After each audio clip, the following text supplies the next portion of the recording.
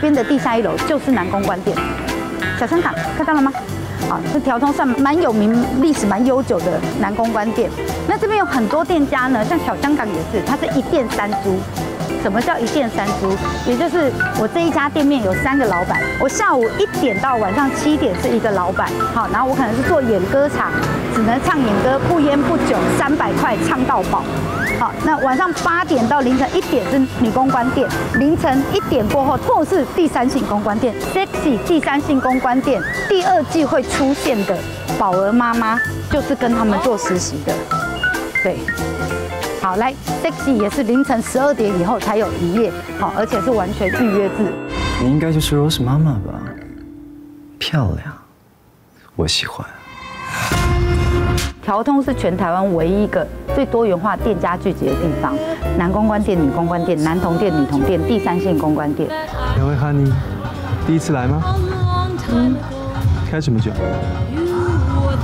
八二。偷偷告诉我们。七二更好。我是有被妈妈常带去男公关店玩过，对，但是在我来看，好像蛮少日式酒店小姐会去的，因为比较多。我就讲了，日式酒店小姐的年龄层比较高，该睡觉。对，对，真的。而且你去南公关店，你会吓到哦，百分之八十的客人都是年轻漂亮的小姐。去消费的，对对对，因为它是凌晨十二点以后才开店的南公关店，所以就是大家下了班之后会去，百分之八十左右都是八大行业的小姐会过去，因为她觉得我上班的时候被男生欺负了，所以我下了班我要去欺负男生的心态也有，又或者是他觉得我没有资格跟一般正常男生交往，我只能在这里找到呃爱情的那个虚伪的那个虚实，然后可以去握住那些暧昧的感觉这样子。然后也有啦，调通就乱你。我们收到线报，今晚这里会有毒品交易。不管是我现在开酒吧，或者是我以前上班的时候，你你会看到有人来应征嘛？那妈妈想在挑这些小姐，不太会挑人，因为来应征的人都少了。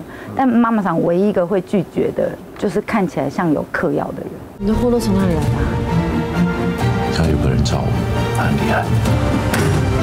毒品消失没多久，他们店里就死了人。你们不觉得当中有什么关联吗？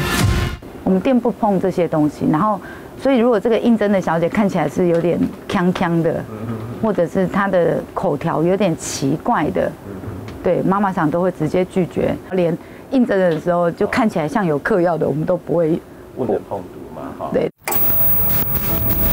为您插播一则新闻快报：登山社社员在后山发现一具无名尸体，尸体被台风土石流冲刷，死亡时间和死因正在研判。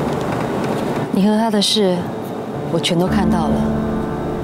你一再践踏我的信任，我要你永远都别再出现，永远。何姐，死者好像是陈哥认识的人，凶手应该是从这里开始，想要找埋尸体的地点。